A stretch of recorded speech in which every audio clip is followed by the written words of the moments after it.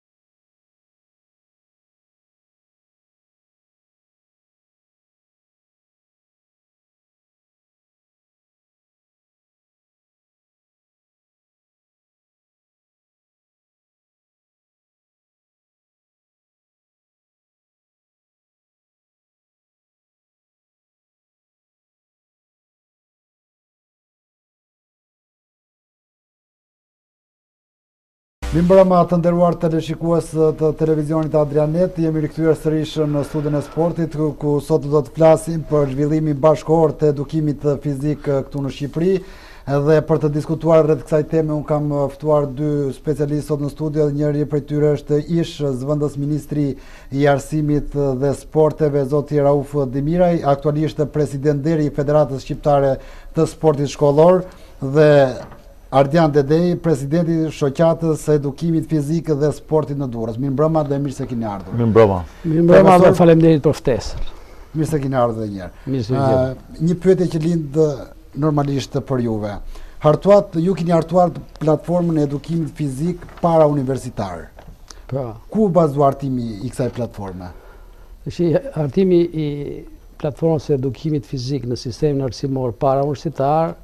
që do të thotë për moshën tre deri në tetëmbëdhjetë vjeç, u bazua mbi parimet shkencore të shkencave anatomi, biologji, fiziologji, psikologji, pedagogji, mënyrë të ushqyerit, biomekanikë, metodologji stërvitore, auksologji e tjerë. Duhet të theksoj që edukimi fizik dhe sporti në Shqipëri, fatkeqësisht është konsideruar si një aspekt me një kulturë të rëndomtë, por realiteti është tërësisht ndryshe, sikundër unë shpjegova se çfarë shkencash marrin pjesë në këtë aktivitet. Dhe askush nuk mund të thotë që kemi një aspekt tjetër që për sa i përket përmbajtjes shkencore të krahasohet me këtë aspekt kaq të vlefshëm, të dobishëm. Vetë edukimi fizik si ndërtim i orës së mësimit që duhet të bëjë nxënësi, bazohet mbi këto shkenca. Duke u bazuar mbi këto shkenca, ndërtohet një program i individualizuar për çdo nxënës. Dhe së pari, neve mbrojmë shëndetin e tij nga shumë faktorë të rrezikut, patologjik dhe nga ana tjetër arrijmë dhe të zhvillojmë më tej shëndetin e çdo individi që aktivizohet me sport, mhm. por duke ndërtuar një program në mënyrë të individualizuar, që do të thotë ndërtimi i një programit bazohet pikërisht mbi vlerësimin e gjendjes reale të tij, Merret parasysh mosha, pra nëpërmjet matjeve ne arrijmë pastaj të ndërtojmë një program të individualizuar ku garantohet progresi qoftë i shëndetit në radhë të parë, plus edhe i cilësive fizike atletike të individit. Konkretisht, profesor, çfarë risish solli kjo platformë në orën e mësimit të edukimit fizik? Platforma e edukimit fizik solli këto risi: e para, për herë të parë, mhm. Ajo u udhëhoq nga parimet shkencore, sikundër thashë pjesëmarrja e atyre shkencave, por në themel të saj qenë katër parimet që formojnë një shëndet të shkëlqyer dhe këto parime janë zhvillimi i qëndrueshmërisë të sistemit kardiak respirator vaskular të nxënësit për rastin që flasim. Zhvillimi i, i forcës muskulare trupore dhe i forcës muskulare të gjymtyrëve, mm -hmm. E treta, zhvillimi i fleksibilitetit muskular trupor dhe i fleksibilitetit të gjymtyrëve. Dhe e katërta, rivendosja, stabilizimi i një raporti peshë dhjamore mbi peshë muskulare në kondita optimale. Pikërisht këto parime ne na udhëhoqën dhe ndërtuam të ashtuquajtur kartela individuale e nxënësit. E cila kartelë individuale? Çfarë ka në vetvete kjo kartelë individuale? Kjo kartelë individuale e nxënësit përveç të dhënave të emër mbiemër e tjera të nxënësit ka futur në përbërje të saj, pra kemi futur në përbërje të saj këto katër kondita për të pas shëndet shkëlqyer. E para, nëpërmjet matjeve antropometrike, peshë, lartësi, ne arrijmë të gjejmë ku është Situata e raportit peshë muskulare, peshë dhjamore të individit. E dyta, kartela vlerëson nga ana mjekësore gjendjen e tij shëndetësore nëpërmjet analizave dhe vlerëson sistemin kardiak, mhm. respirator dhe anën e analizave mjekësore. Tjetër nëpërmjet matjeve të cilësive fizike atletike, siç është Kërcimi së gjati nga vendi. Muskujt, zhvillimi i muskujve të barkut. Aplikimi i ushtrimeve për pompat, përkulje mbi krahë, zhvillojnë forcën. Evidentojmë nivelin e forcës së atij nxënësi. Zhvillimi i ushtrimeve për të vlerësuar fleksibilitetin muskular, plotësojmë konditën e tretë që thuhet shkencërisht dhe të eksperimentuar për të pasur shëndet të shkëlqyer.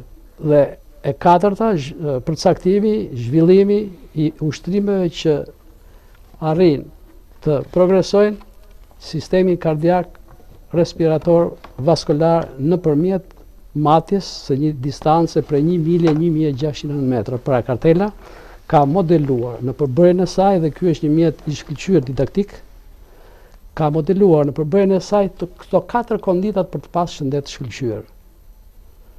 Nxënësi apo cilido individ. që lidhet nga mosha gjashtë deri edhe mbi tetëdhjetë e pesë vjeç.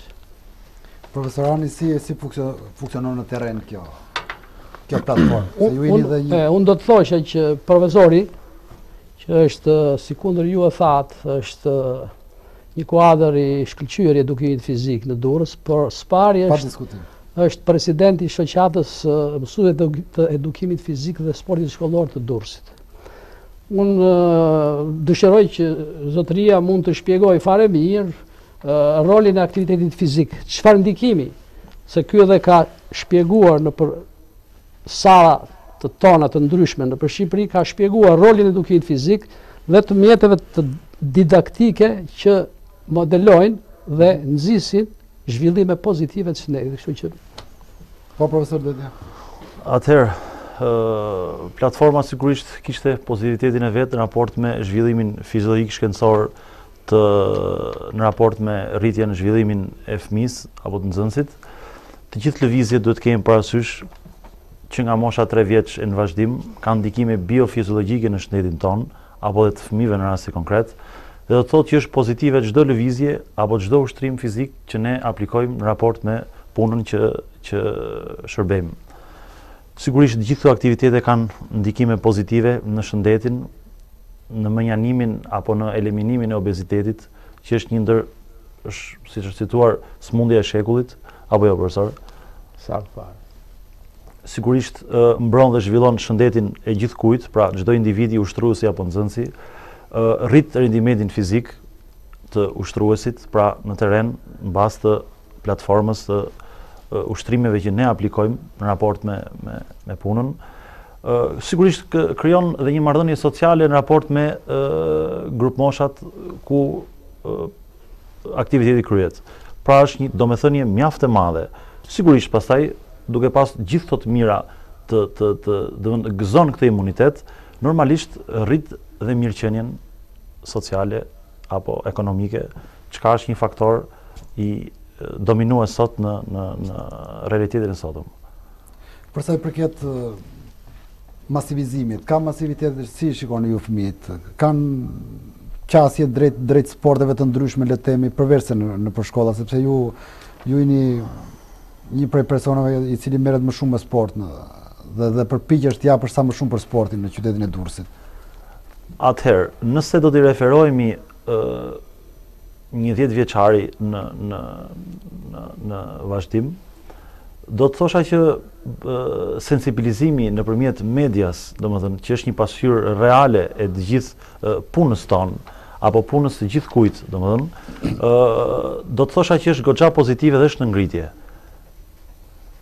sigurisht me promovimin, me promocionin, me shtimin e e e orëve të edukimit fizik në shkollë. Pra, pra ka, ka patur ka patur një shtim të edukimit të pra, orarit të edukimit fizik në shkollë. E gjitha kjo kjo që unë përmenda, pra ky ky ky zinxhir, këto hallka kaq domethënëse në realitetin e sotëm, kanë një ndikim mjaft pozitiv në sensibilizimin e opinionit, Pra, ne kemi një fëmijë që rritet me edukimin fizik, rritet duke ushtruar tre orë në javë.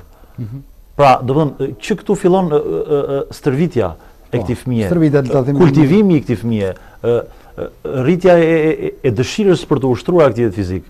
Dhe normalisht besoj që do të trashëgohet dhe do pasqyrohet në të ardhmen në në vitet në vazhdim, në etapat në vazhdim. Kemi kemi pasur një një një kequshqyerje le të themi për për për gjithë fëmijët deri deri në këtë moment dhe aktiviteti fizik kam përshtypjen se do të do të çojë parametrat Shiko, parametrat e kërkuar. Unë do të marr një shembull shumë të thjeshtë. ë uh, në një orë mësimi që unë zhvillova sot në shkollën ku unë Po, që ta bëjmë sa më të thjeshtë edhe për publikun që ta kuptojnë. E kam të qartë, se nga ana shkencore jo e kam të qartë dhe në planet mësimore renditen projektet. Mm -hmm. Dhe uh, tema e projektit ishte uh, obeziteti dhe mbipesha. Ju them me sigurinë më të madhe që fëmijët demonstruan, shpjeguan dhe performuan secili shembuj konkretë në raport me obezitetin. Çka do të thotë sensibilizimi, informimi është goxha, goxha, goxha i madh në ditët e sotme. Dhe sinqerisht, domethënë jam i kënaqur që po rritet ky brez me këtë diapazon kaq të madh të të mirëorientuar për lëvizshmërinë fizike. Dobitë që na vijnë nga lëvizshmëria fizike. Profesor, sa ndikon aktiviteti fizik në mbrojtjen e shëndetit të individit? Atëherë, pyetja që bëre është shumë e goditur dhe në mbështetje të asaj që tha profesori, profesori, unë du të shpall një konkluzion shkencor që thotë pasiviteti fizik është faktor rreziku sikundër e tha Dedja sëmundja e shekullit dhe efektet negative të pasivitetit fizik janë të barabarta me shumën e këtyre tre faktorëve. Me rrezikun që shkakton mbitensioni, plus rrezikun që shkakton kolesterolemia, dakord, yndyrnat e tepërta në trup, edhe e treta pirja e duhanit. Këto tre faktorë janë baras me pasivitetin fizik. Që do janë thotë, baras, e? Janë baras. që do thotë, kjo platformë e modeluar dhe e vënë në zbatim nga Ministria e Arsimit dhe Sportit që në vitin 2014, krijoi një bazament shumë të rëndësishëm për përmirësimin e cilësisë së jetës në vendin tonë. E para, filloi aktivizimi që nga nga mosha 3 deri në 18 vjeç. E dyta, u trajnuan mësuesit e edukimit fizik për herë të parë. I trajnuam të gjithë mësuesit e Shqipërisë, nga veriu deri në jug. Kjo është një risi, jo vetëm për vendin tonë, jo vetëm për Evropën, por edhe për më tej. E treta, u ngrit edukimi fizik në tre orë në javë. Tre orë në javë nuk e kanë shumë shtete të zhvilluara në Evropën perëndimore. Dhe e katërta u punësuan rreth 1000 mësues. Të rinj për edukimin fizik, tashmë të trajnuar. Ha, diçka shumë e mirë kjo. Tani, lejoni të shpjegoj në vazhdim të asaj që tha zoti Dedja. Konkretisht, një fëmijë i cili stërvitet në kopësht me lojera lëvizore, argëtuese, mhm. nëse fillohet ky zhvillim lëvizor në moshën 2 deri në 4 vjeç në trurin e tij, Rritet sipërfaqja e trurit që është përgjegjëse për memorjen. Ky fëmijë kur të rritet edhe në pleqëri nuk jo vetëm që do të ketë një fizik të mrekullueshëm, por do të ketë mendje shumë të probleme të memorjes.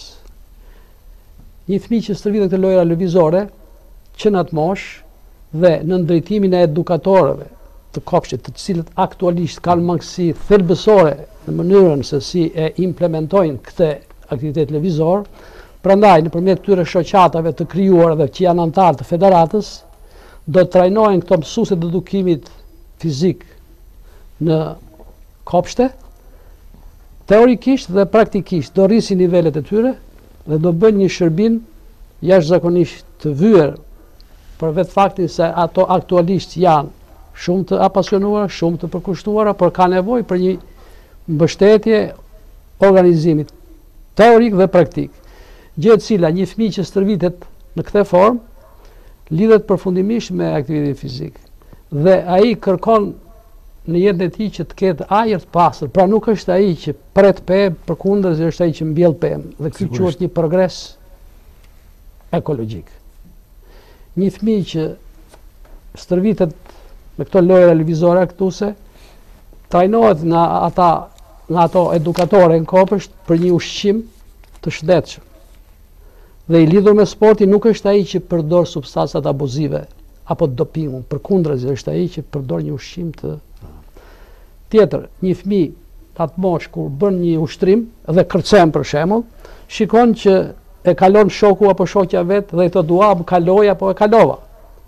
Dhe kjo moshë nuk gënjen, po jep realitetin dhe kjo imposton zhvillimin e meritokracisë.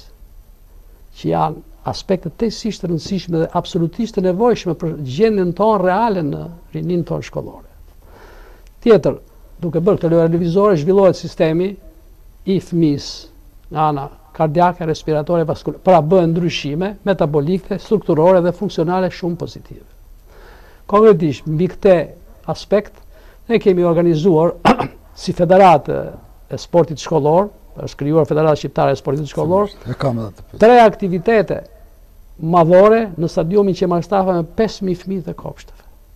Ku ata fëmijë të kopshteve bënin lojëra lëvizore, ushtrime lëvizore, bënin dans, performuan në ushtrime të ndryshme le të themi. Dhe jo ushtrime në një nivel polisportiv, bënin gara vrapimi, 30 metra, bënin gara me biçikleta, luanin njëherësh tenis portativ, dhe nga ana tjetër, çdo kopsht kishte nxjerrë përfaqësuesin për të pikturuar, për artin pamor dhe nëpërmjet profesorëve të artit pamor, siç është Zaim Elezi dhe ajo zonja Anthela që tashmë është në liceun artistik, Entela Kasemi, vlerësuan dhe nxorën kampionen e pikturës në gjithë kopshtet e Tiranës. Kjo gjë nxit një kulturë dhe zhvillon përvetësimin e lëvizjes fizike që në atë moshë. Dedja, profesori thotë që zhvillon aktivitete të ndryshme fizike dhe kjo është një gjë shumë e mirë, mos të themë e domosdoshme për çdo fëmijë, po për çdo individ, por Si është infrastruktura në shkollat shqiptare për realizimin e këtyre aktiviteteve fizike? Pak më parë në një bisedë që patëm në studio bashkë, më patët thënë se disa prej topave apo gjëra të tjera të bazës materiale që, të, që ju ju duheshin në, në orën e mësimit ju i patët i patët blerë vetë. Pra si si është gjendja, gjendja aktualisht?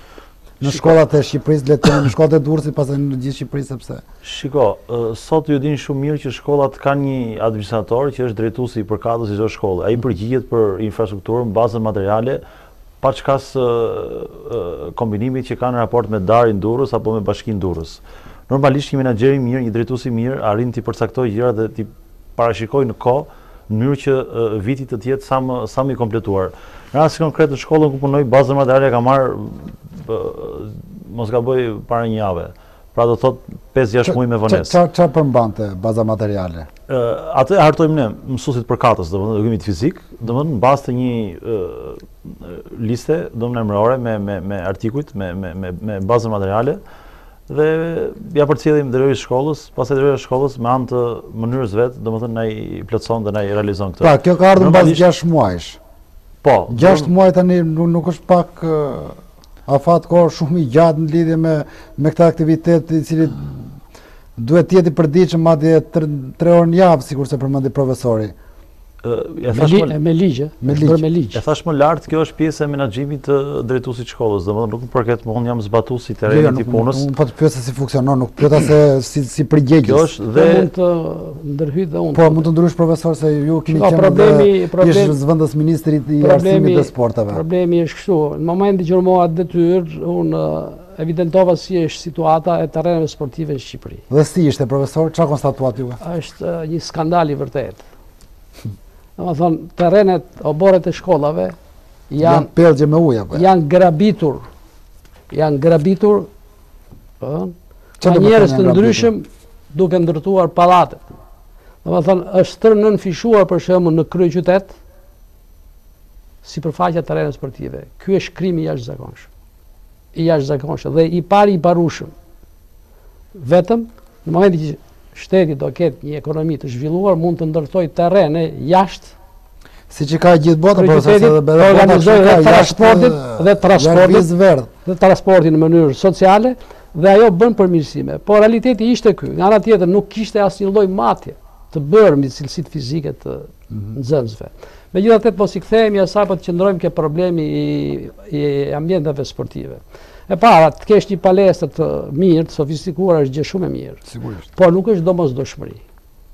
Sepse ka shkolla që kanë ambiente sportive, por ka dhe mentalitetin që neve dale se na mungon kjo, na mungon ajo. Atëherë, për po jap një shembull, mund të kesh një laborator të shkëlqyer fizike, apo një laborator të shkëlqyer kimie, por specialisti i këtyre laboratorëve nuk është i kualifikuar. Ka zënë një vend pune, kalon radhës sikundër hyjnë sot në punë, pa meritokraci. Siç ndodh rëndom aktualisht në Shqipëri. Pra, gjatë këtyre 20 e sa vjetëve, kështu është. Të shpresojmë që po rregullohet. Po Tjetër, Që do të thotë, nuk është palestra e sofistikuar ajo që bën rezultatin, por është pikërisht mësuesi i edukimit fizik, i cili arrin me njohuritë e tija të bëjë organizime për të ulur mbipeshën, për të ulur obezitetin tek nxënësit, për t'i krijuar atyre lidhjen, dashurinë ndaj lëvizjes fizike. Shiko profesor, do të thotë. Nëse arrihet në këtë mes, Mhm. atëherë kemi fituar gjithçka.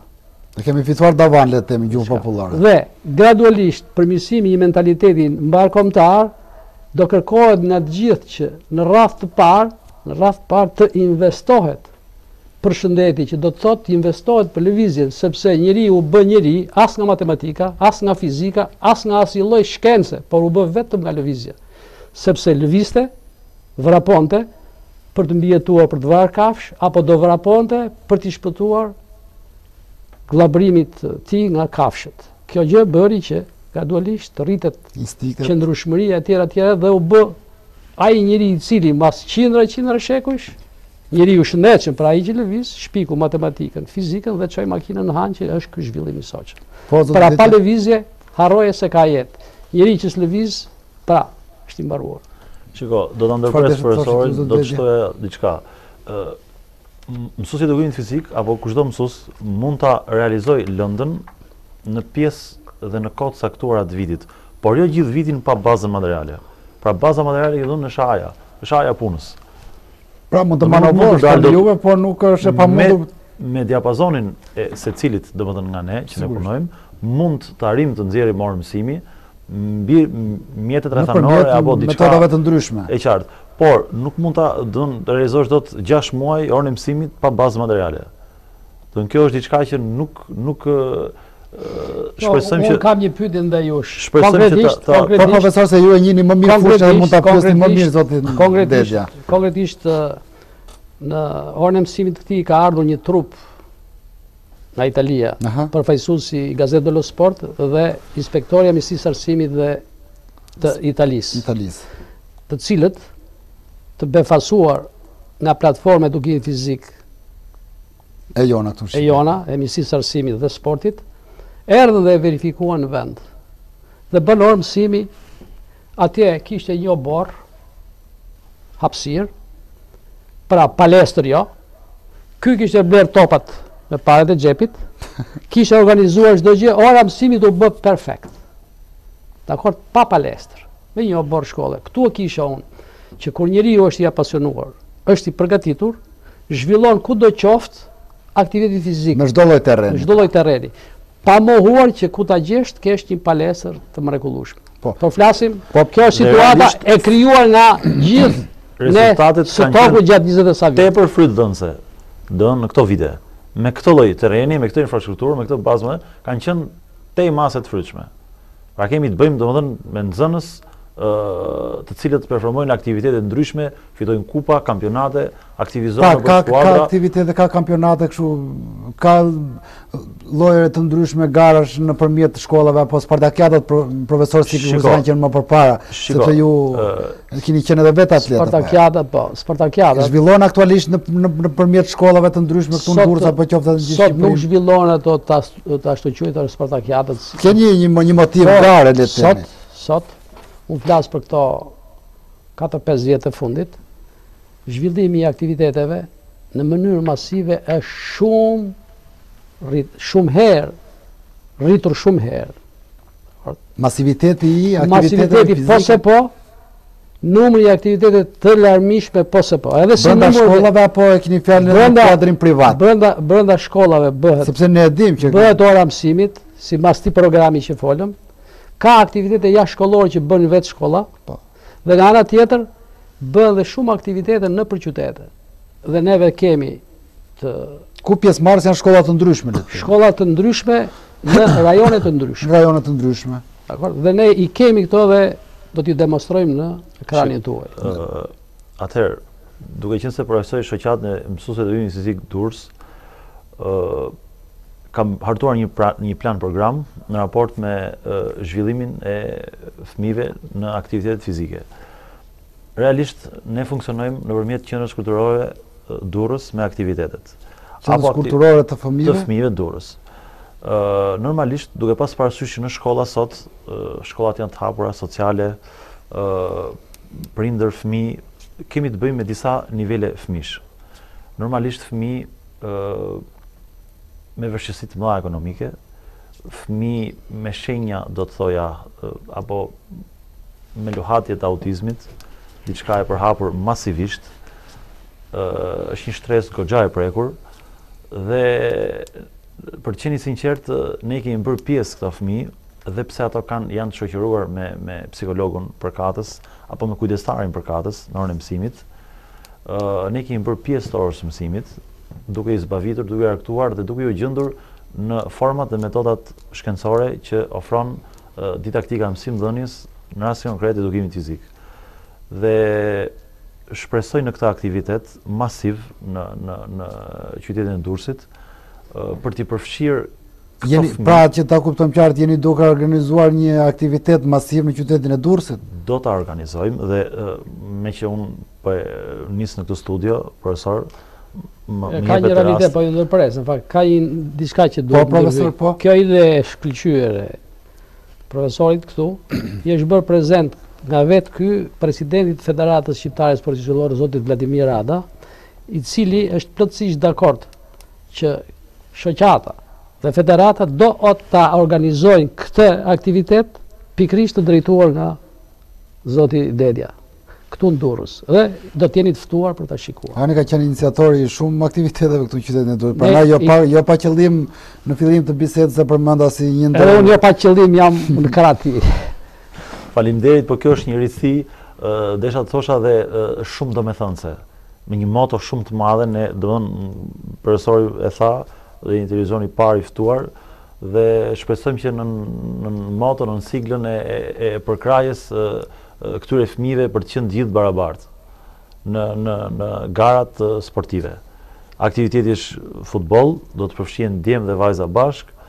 Dhe mini futboll. Mini futboll dhe do t'i shërbejë mjaft në të gjithë aspektet e formimit, zhvillimit, socializimit të të të këtyre fëmijëve. Profesor, Është themeluar tashmë Federata Shqiptare e Sportit Shkollor. Po. Çfarë risish solli kjo, ky organizim dhe funksionimi i saj në tërësi? E para Federata bëri një programin, program saj, por themelimi i saj u bë nga katër shoqata themeltare. Mm -hmm. E para shoqata e edukimit fizik dhe sportit shkollor, të Durrësit me president Zoti Dedja, Shoqata e Mësuesve Edukimit Fizik dhe Sportit Shkollor të Tiranës, Shoqata e Mësuesve Edukimit Fizik dhe Sportit Shkollor të Elbasanit dhe Shoqata e Mësuesit katër katër rajone le të them. Po, dhe Shoqata e Mësuesve Edukimit Fizik dhe Sportit Shkollor të Lezhës. Këto shoqata të mbështetura nga ne si ministri, u mblodhën dhe themeluan Federatën Shqiptare të Sportit Shkollor, ku presidenti i saj është zoti Vladimir Rada sikundër shpreha. Çfarë inicioi kjo? E para bëri organizimin e gjithë këtyre shoqatave dhe ka nxitur, stimuluar dhe janë regjistruar në gjykatë si anëtarë të kësaj federate edhe gjashtë shoqata të tjera. Iu bashkëngjitën këtyre? Tashmë nuk janë më katër, po bëhen rreth 10-11 shoqata të regjistruar në gjykatë, si anëtare të federatës. Çfarë do bëjë kjo federatë? Çfarë ka bërë? Ka bërë një shumëllojshmëri aktivitetesh, polisportiv, në shumë qytete, të cilat neve i kemi të demonstruara në flesh do japin sikundër folëm, dhe kjo do thotë të përhapet aktiviteti fizik, kudo qoftë. të jipet, domethënë, shpresë për cilësi jete kujdo të riu në shkollë, në shkollat e tona, dhe nga ana tjetër dhe prindët kuptojnë dhe fillojnë të përvetësojnë gjithmonë më shumë vlerën e këtij aktiviteti, pra. rëndësia e tij. Dhe kjo është gjë shumë e rëndësishme. Nga ana tjetër, kjo federatë ka bërë Përveç këtyre aktiviteteve, ka bërë dhe, për shembull, ngarkoi detyrë shoqatës së Tiranës, ku mësuesit e edukimit fizik të Tiranës shkuan dhe trajnuan teorikisht, praktikisht edukatoret e kopshteve. Ndejtën dy javë, dhe këto edukatore arritin, arritën që të përvesoj... Pra, pra profesor, se po të pres, kemi kaluar një stad tjetër tashmë, nuk fillojmë në shkolla edukimin fizik të fëmijëve, Por që në që ke kopsht pra. Që ke mosha 3 vjeç. Mm -hmm. Janë bërë hapa praktike ku thashë që janë zhvilluar tre spartakiada, po themi me këto kopshtet në stadiumin Qemal Stafa, po, po. edhe i fundit si, që është stadium Dinamo. Po. Vjet. Ku ishin edhe pikërisht dhe të deleguarit e Gazzetta dello Sport të Italisë dhe inspektorja e Ministrisë së Arsimit të Italisë, gjë të cilët takuan dhe kryeministrin, i thanë që edukimi fizik në Shqipëri ju konfirmojmë që është shumë shumë më përpara sesa në Itali dhe ky është fakt. Tani, çfarë do bëjnë tashmë në kuadrin e kësaj federate? Shoqatat tona do të trajnojnë teorikisht mësuesit edukatorët e kopshteve. Do t'i trajnojnë praktikisht këta mësues dhe do ngrenë cilësinë e punës së tyre, gjë e cila do ndikojnë në ato aspekte që ne folëm që shkakton, po, po. krijon pozitivisht zhvillimin fizik në këto mosha 6 deri në 12 vjeç. Dakord? Tjetër, çfarë bëri Duke ditur që shtetet ballkanike të Ballkanit Perëndimor kanë pas probleme gjithmonë të një fqinjësie shpesh me kontradikta të thella në të kaluarën, atëherë është sporti ai si diplomati më i mirë që çan kufijtë dhe përmirëson klimën miqësore. Jemi ke Koreja e Veriut dhe Jugut. Shikoni se çfarë ndodhi. ngrihen tashi dhe janë bashkuar në atë eveniment botëror që është Olimpiada. Koreja e Veriut në atë ekstrem të një lufte të pritshme kaloi dhe nëpërmjet sportit ndodhi një bashkim pra përmirësimi i fqinjësisë. Mm -hmm. Pikërisht këtë veti e ka sporti dhe vetëm sporti. Atëherë ç'bëmë? Nisur nga ky qëllim, Ne si federatë shkuam në Maqedoni, u takuam me federatën Maqedonase të sportit shkollor, morëm këto gjëra që po prezantojmë këtu, i trajtuam çfarë kemi bërë, dhe ato thanë, kjo është një kryevepër, kemi arsye duam të organizojmë konferencën, e federatave të Sportit Shkollor. Pra iu pëlqeu shumë platforma jonë? Pikërisht. Atëherë, ç'ndodhi, ata thanë, ne kemi tentuar, po s'kemi qenë të zotët ta bëjmë. Ne do vijmë.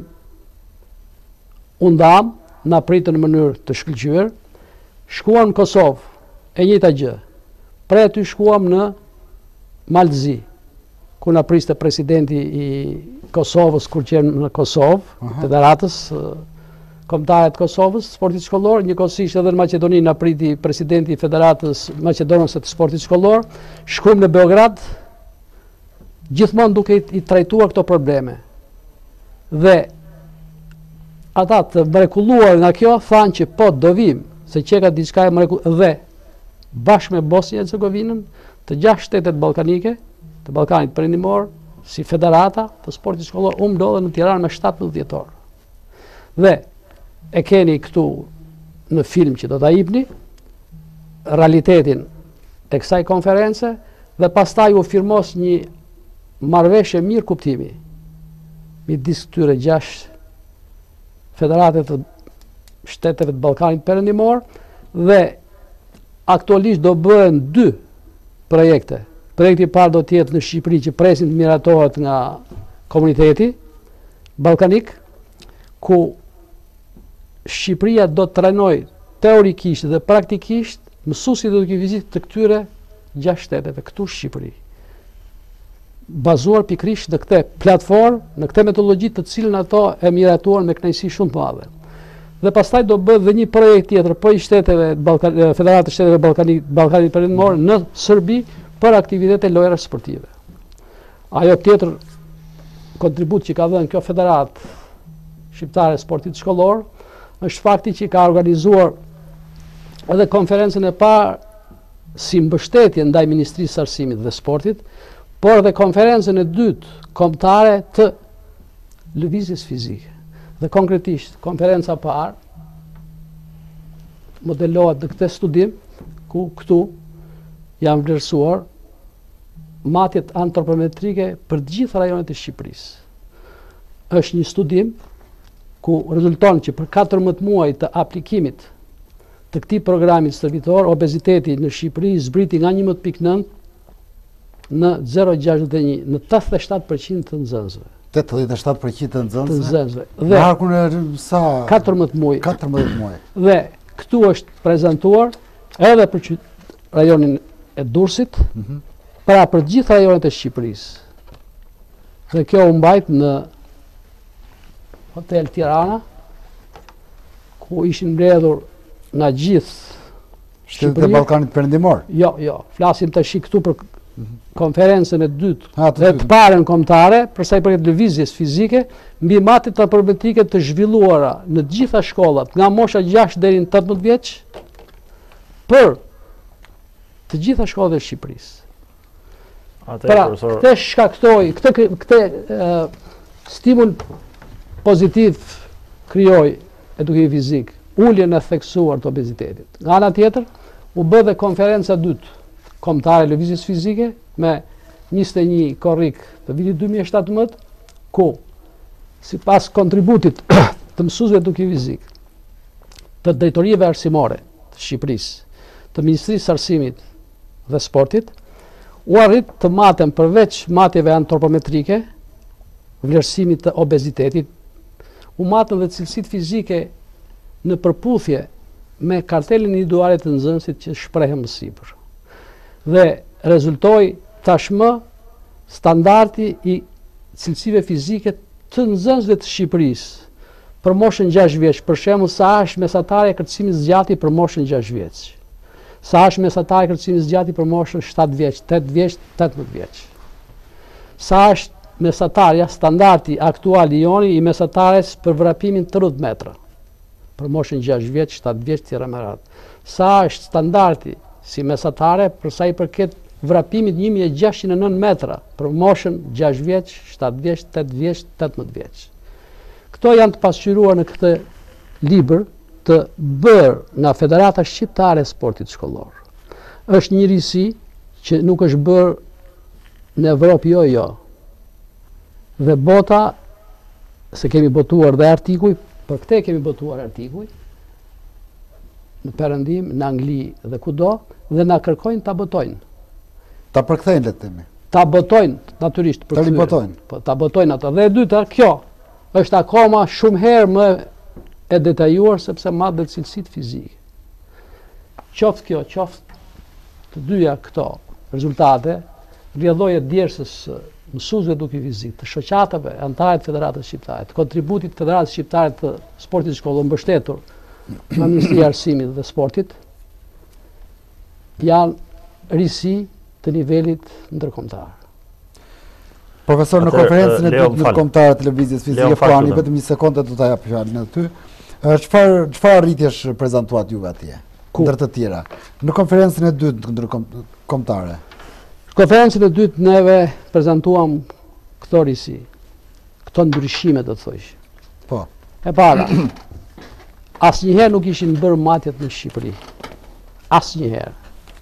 Gjatë, nuk ishin bërë përpara matjet këtu në Shqipëri. Gjatë po. mas nëntëdhjetës, Po po përpara 90-ës apo po po kalojmë në ide. Përpara 90-ës janë bërë me që janë kaluar të dy. Po, janë bërë matje, por kur unë shpjegova në televizion që matjet që po bëjmë nëpërmjet kartelës janë matje shkencore, të pabëra ndonjëherë, më ka ardhë një në zyrë një personalitet i sportit duke m'u ankuar dhe më tha që po mirë thotë sikur mohove matjet tona që kemi bërë ne kemi bërë matjet ti ke bërë matjet po i thashë un kam bërë matjet zotri po ti ke bërë matjet kam bërë mësuesit po po ça të kanë matur ty i thashë Të kanë matë perimetrin këtu, këtu, këtu, këtu, këtu, po.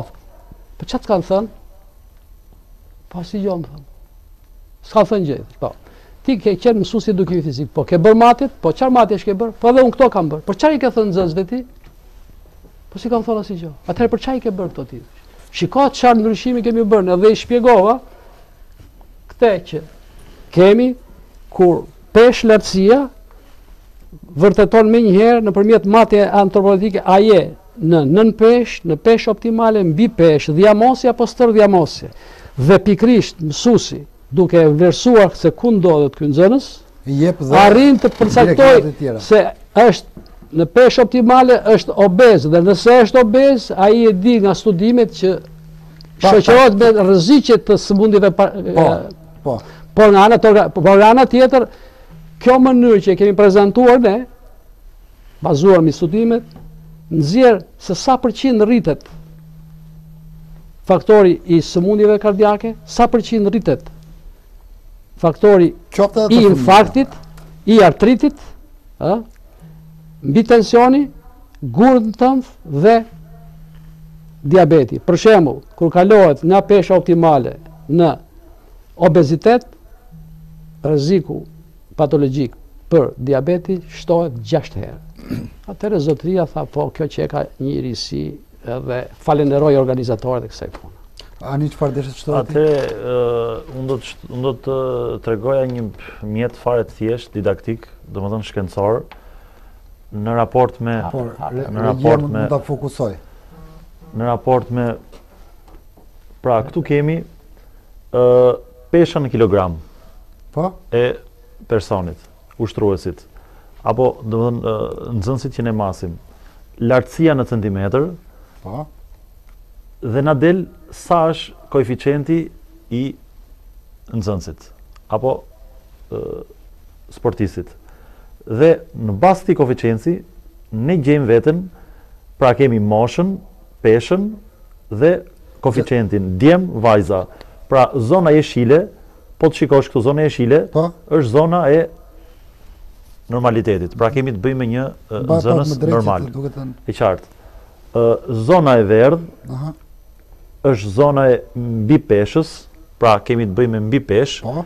në bazë të tregusit, koeficientit që mhm. na rezulton, dhe zona e rrezikut është zona e kuqe e obezitetit. Pra një manual fare i thjeshtë për të vërtetuar se gjithsecili nga ne realisht mund ta gjejë veten shumë kollaj në bazë këtij manuali. Dhe sigurisht këtij manuali do t'i shtoja fare thjesht. Po. Ushtrime gjimnastikore, lehtësisht të ushtrueshme. Pra kjo ishte edhe pyetja ime, mbajeni aty ku e keni atë tabelë. Pra në bazë të këtij mjeti didaktik fare të thjeshtë, po, juve... ne përcaktojmë zonën ë në bazë të matjeve. Po. Që ne bëjmë peshë lartësi në bazë të matjeve dhe po, gjendjes fizike në të cilën ndodhen fëmijët, juve përcaktoni dhe se me kë kemi të bëjmë. Pra me një fëmijë normal, saj, si me një fëmijë obez, tyre pastaj. me një fëmijë obez në bazë të programit. Ndryshe nga fëmijët e tjerë le të themi. Absolutisht. Kjo ishte ideja. Diferencimi Individualizuar. Individualizuar dhe mbrapa këtij mjeti didaktik fare të thjeshtë kemi të bëjmë si si mund t'i stërvisim këto fëmijë. Po. Me ushtrimet e elasticitetit, po, fleksibilitetit. Po, mund të kryhen në çdo lloj ambienti. Zhdërvjelltësisë. Po, jo. Absolutisht në kushte shtëpie apo në një palestër fare të vogël, ushtrime me elasticitetit, forcës funksionale me elastik, domethënë që është lehtësisht e punueshme, ka një kosto minimale desha të thosha, absolutisht ë pesha, gira, punën me gira, abdominalet, muskujt e barkut, ushtrime për ekstremitetet e poshtme, lehtësisht të punueshme në ambientet ku ne jetojmë apo punojmë apo stërvitemi. Kjo bazë materiale të paktën për ato 2-3 figurat ose tabelat poshtë, po, janë po. gjenden në shkollat shqiptare? Nuk gjenden shkollat. Nuk gjendet, për të qenë i sinqertë? Gjenden ka ata mësues të cilët janë të apasionuar si zoti Dedja. Si e anit, si pasi deti. Shiko, kosto e një elastiku është minimale. Nuk e vë në diskutim, po është e pasur kjo bazë materiale. Një afton që ne, ne ta, jo, faktikisht nuk është, Por mund, domethënë për të qenë i sinqertë në ambientet e punës ne kemi, domethënë kemi sa ju. Kemi sa po, po, po, po. Gjenden realisht. Pasi ushtrimet e fleksibilitetit, elasticitetit është diçka që është është këtë federata e sportit shkollor do ta shumëfishojë Edhe zoti Dedja tha do ia lë këtij televizionit që është hera e tretë apo e katërt që vijmë këtu ne. Edhe edhe ne kemi nevojë për për gjimnastikë. Por do t'ia lë dhuratë pra këtij televizionit, por ne do të prodhojmë do t'i shpërndajmë në gjithë republikën këta për nxënësit e shkollave. Do ishte diçka e mrekullueshme. Dhe kjo se kemi shpërndarë në fakt, ani e di, edhe ftojmë prindrit Ore po, ngrihet fëmija, shko matet një herë dhe peshohet dhe thotë që kjo gjendja ime s'shtyhet. Mirëpo kjo ndikon shumë në formimin e një mentaliteti që lidhet me sportin. Sigurisht. U lidh me sportin dhe dhurata më e madhe që i bën prindi fëmijëve është futja në aktivitetin fiziko sportiv. S'ka dhuratë më të madhe. Shiko, Leo më lejo të drejtoj një pyetje. Po, po patjetër. Jemi tek aktivitetet. Si do ta prisje një pyetje timen një ditë apo një javë apo këtë është për të vendosur për të parë duke përfshirë dhe ju si studio apo median, domethënë që ju përfaqësoni ë gjimnastikën e mëngjesit në qendrën e qytetit, duke përfshirë të gjithë institucionet ligjzbatuese të qytetit tonë. Do ishte diçka. Po një përgjigje të sinqertë. Jo, do ishte diçka e mrekullueshme. Edhe pse ti mund të jesh me këmishë dhe mund dalësh atje? S'ka asnjë problem. Profesor,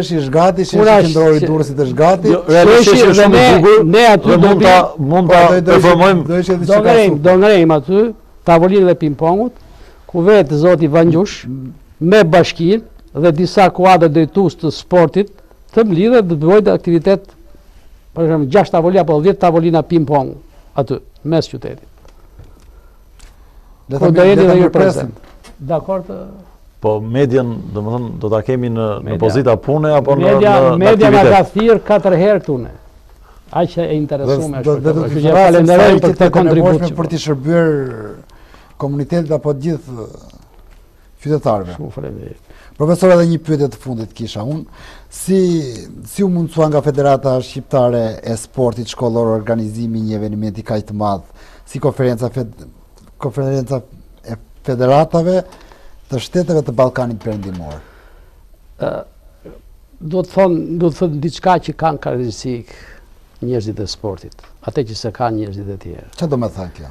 Kanë një këmbëngulje, një vullnet, një qëndrueshmëri të habitshme. Pra, ne u ngritëm me një grup të Komitetit Ekzekutiv të Federatës morëm një makinë me qera, edhe se binte borë, se s'binte borë, shkum në Maqedoni, të cilët i kishim njoftuar se çar kërkohesh nga ne. Na pritën, zhvillum takimin, na mbajtën për darkë, të entuziazmuar nga çfarë kishim bërë ne, na çunë në hotel, paguan ata hotelin, na përcollën, na udhëhoqën se ishte dhe borë të nesërmen që binte, na çuan drejt për në Kosovë. Mhm. Atje na pritshin presidenti dhe sekretari i Federatës së Sportit Shkollor të Kosovës.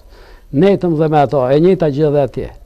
Pastaj hymë përsëri në Shqipëri nga Kukësi, kaluam në Mal të Zi, ku na pritshin presidenti i Federatës së Malit të Zi, të sportit shkollor të Malit të Zi. Dhe aty e njëjta gjë. Pastaj shkuam në Beograd. Pra, në Bosnjë e Hercegovinë krijuam pra të shkojsh mrena 3-4 ditëve në të gjithë këto shtete për të prezantuar diçka që s'është bërë asnjëherë, ku politika jonë s'mblidhet dot për të diskutuar për të diskutuar si shtete balkanike në një shtet. Po mblidhen atje që i mbledh ajo zonja Federica Mogherini. Vetëm kur i thërret ajo. Jo, sepse nuk është kollaj ta mbledhësh politikën. Mu vetë kryeministri më tha, krijoje këtë, sepse sporti është diplom, diplomati më i mirë. Dhe ne e realizuam pikërisht të bërë tok. Ata të entuziazmuar nga çfarë kishim bërë ne, thanë do vijmë.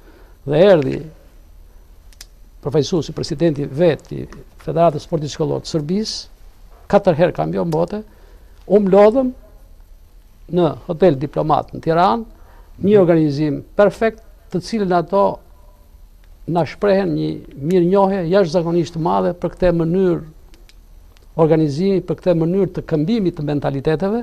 Çfarë u vendos në këtë konferencë profesor? Pikërisht, pra u vendos që të bëhen projekte të përbashkëta. Mhm. Dhe, a thonë, shtetet e Ballkanit Perëndimor do mbështesin dy projekte që i kemi aplikuar, ku vetë të gjithë shtetet kërkuan që projekti i parë të jetë në Shqipëri, ku të praktikohet kjo eksperiencë shumë pozitive e Shqipërisë për trajnimin e mësuesve të edukimit fizik të këtyre gjashtë shteteve këtu në Tiranë. Madje mundim dhe në Durrës. Dhe projekti i dytë do të jetë në Serbi me kampionat të lojrave sportive, ku nxënës të Shqipërisë, nxënës të Maqedonisë, nxënës të Malit të Zi, nxënës të Kosovës, nxënës të Bosnjë-Hercegovinës, do bashkohen me nxënësit në Serbi dhe do organizojnë një kampionat të një lloj sporti. Dhe këto janë aktivitete madhore që përmbysin ato mundësitë e ndasive dhe afrojmë sepse sporti ka një karakteristikë fenomenale. Nuk zhvillon din... humanizmin, zhvillon vlerësimin e individit dhe rrit marrëdhëniet midis njerëzve. Nuk e di në kishit diçka për të shtuar, sepse kemi mbërritur në fund të emisionit dhe një Një përmbledhje përmbledhje. Jo, dmth e vetmja gjë do të thoja që jeni të mirëpritur si media në aktivitetin tonë dhe besoj që do të zhvillojmë një aktivitet masiv dhe i shërbejmë mjaft brezave fëmijëve. Profesor? Nëse pranojmë që shëndeti nuk është gjithçka, Po pa shëndetin gjithçka është asgjë dhe shëndeti zhvillohet kryesisht nga lëvizja, nga sporti, që do thotë masivizimi i aktivitetit fiziko-sportiv nga mosha 2 deri në tetëmbëdhjetë vjeç është themeli i përmirësimit të cilësisë së jetës së qytetarëve tanë, të mirëqenies dhe të formimit të një qytetari të vërtetë nga çdo pikëpamje. Le të shpresojmë që ky emision të ndiqet nga të gjithë qytetarët dhe për të marrë më të mirë nga ky emision për shëndetin e tyre. Unë duke ju falënderuar Që ishit me mua sot në studio zoti Dermiraj dhe zoti Dedja. Ju përshëndes dhe jini të mirëpritur këtu në studion tonë sa herë që të jetë e nevojshme. Ju lë takim të nderuar teleshikues të enjten e ardhshme. Natën e mirë dhe mirupafshim. Faleminderit shumë për ftesën tuaj dhe kontributin që jepni për